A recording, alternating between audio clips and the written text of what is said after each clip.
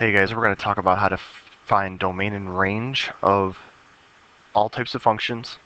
Um, we're also going to talk about how to represent those in different manners. So we'll talk about roster form, we'll talk about mapping diagrams, we'll also talk about on graphs and in tables how to find uh, domain and range. So the biggest thing is that you got to remember that the set of inputs is the domain. And remember we talked about inputs, those are the x values.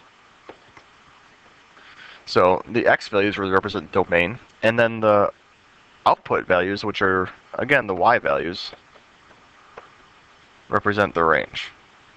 So um, they have exercise one, it's considered the function that has inputs as the months of the year, and outputs as the number of days in each month.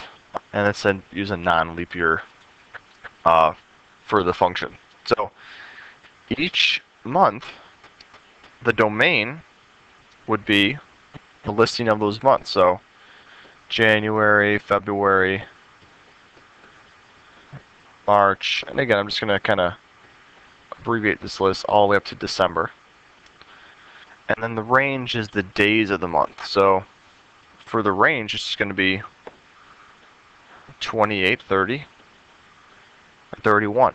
So this is a function because each month only has one amount of days. Okay. Um, January, for example, has 31. February, 28.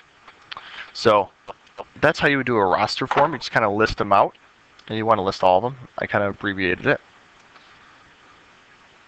Now going on to exercise two, they want us to state the range for a certain amount of domain values. So they want us to do 1, 3, and 5. So we have to apply the rule, which is 2n plus 1. So if I'm doing the first one, I'm going to put 1 in. And then I'm going to have 2 times 1, which is 2, plus 1, which is 3. So that'll be part of my range. And for the next one, if I go put 3 in, 2 times 3 is 6, plus 1 will be 7. Then similar, 5, 2 times 5, 10, plus 1, 11. So those are my range values for that domain value. And they call this a mapping diagram because it just kind of shows a list inside the circles and gives you space to show work. Now, moving on to a graph example. If you look at exercise 3, they give us a graph, and it's on the grid below. And they want us to answer the questions based on this. So they want us to figure out the minimum and maximum x values. So, minimum and maximum x values would be along the x-axis. So, the graph starts right here at the point below it and then it stops right here. So I want to figure out what x values those are. So the minimum would be negative 3.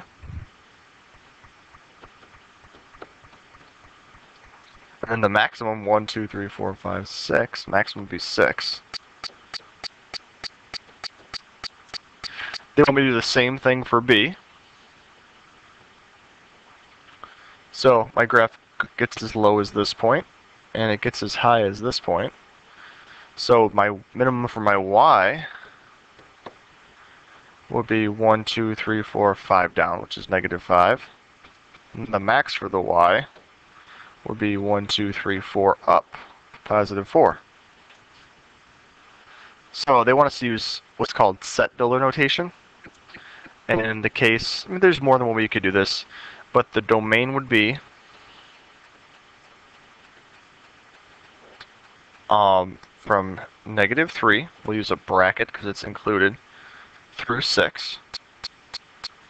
And the range will be from negative 5 to 4. And again, brackets on each one because those numbers are included. So let's move on to the a couple of the examples in the back. And exercise 4 is just, in this case, a multiple choice question. So, they give us a function on the graph, and they want us to figure out what the domain and range is. Now, the domain in this case as you can see, here's the graph, and we see that the arrows are going to the right and to the left, and they keep going. The arrow means just keeps going on and on forever. So that would mean that do domain is going to be any number left or right on the x-axis, which would mean that it would be, in this case, negative infinity to infinity. And then the range, well, we know the graph gets as low as here, which is negative 4, and then a whole graph is above it. So our answer is going to be 3, because this shows the range, and the range, or the domain, can go as far left or right as possible. and then for the last one, we kind of have a special case here for the last one. They give us a, a rational function, which just means it's a function with a fraction in it.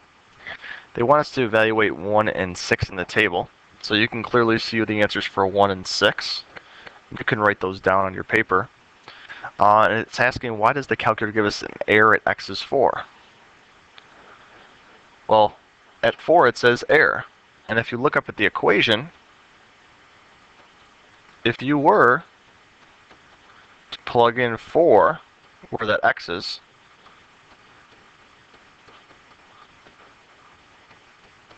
what's going to happen is you're going to get 0 in the denominator. And in that case, it's going to mean that the fraction is undefined. So, this would be the only case where that would happen, where you get 0 on the bottom, is when that number is the opposite of the number that you saw.